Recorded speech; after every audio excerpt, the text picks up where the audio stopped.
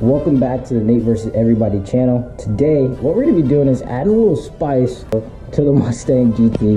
Uh, what we're gonna be doing, something small, so some small cosmetics to it. Here is what we're gonna be working on. Now, we're not gonna be changing the actual headlights. In fact, I actually love these headlights. Uh, these are probably some of the best headlights they, they have on the Mustangs, but we're gonna be changing stuff like that, that amber. We're gonna get rid of that, get rid of, do an amber delete on this, and also tint these a little bit as well. Um, it's a small but subtle change, but it's gonna make a huge, massive change just to the way it looks, um, in my opinion. I do have tints for the rear uh, as well, but I haven't really decided if I want to actually tint the rear uh, tail lights. Um, a lot of people do, but I'm not sure. You know, in fact, I think I'm gonna be going switching over to the Euro lights and maybe I'll tint those. I'm not really sure. I got a like a full look that I, I want to go for the Mustang. Um, I'm just not sure if that kind of meets along with it, but just wanted to bring you guys along, uh, show you this install. What we're gonna be doing, I got this Amber Delete from LMR. Uh, uh, it's late model restoration. I'm sure you guys have heard about them if you watch anything like Street Speed 717 or um, even TJ Hunt sent his C8 down there to get worked on. But um, yeah, I got that from them. It was only like 30 bucks, so super simple, super easy. We're gonna go ahead and get those installed on today. I got my handy dandy hair dryer. We're gonna be using that to install this today because uh, I don't have a heat gun. But we're gonna go ahead and get that put on. Should only take us a little bit. I'll be right back with you. Now, what we're going to be using for this is the Amber Delete kit that you get from LMR. I actually bought some other Amber Deletes that I just was not really happy with the quality. So I bought the entire, you know, front end tent from LMR right off of their website. I think it was like 30 or so bucks. Super, super simple and easy. So what we're gonna be using, I, I do have the tents for the full headlights, um, but that's just not really the look I wanna go for. So we're just gonna be using these here, and then we're gonna be using these here.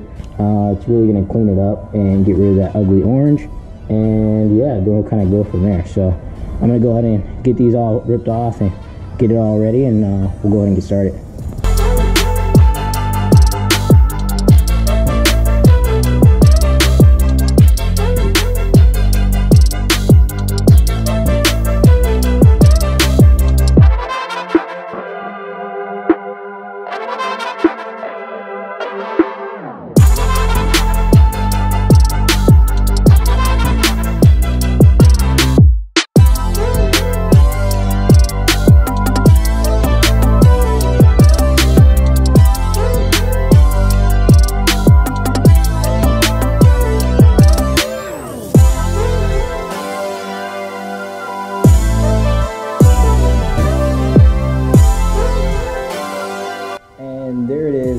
Done, all set with that. Um, it kind of was a little bit tougher than I honestly expected. Um, the film is just really annoying, really brittle. You really gotta get some heat on there to get it right.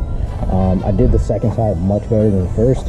I might just order another kit and just do it all over because uh, the first side's really bad. But so far, I mean, hey, it, it works for now. Um, but as you can see, it looks so much better.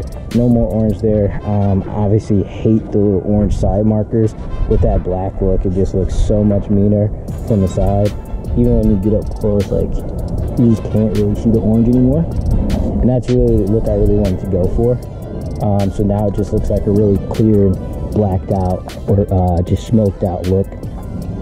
Um, and I didn't really want to go with a full tint because I actually like the little three little triangles. I like being able to see that in the daytime.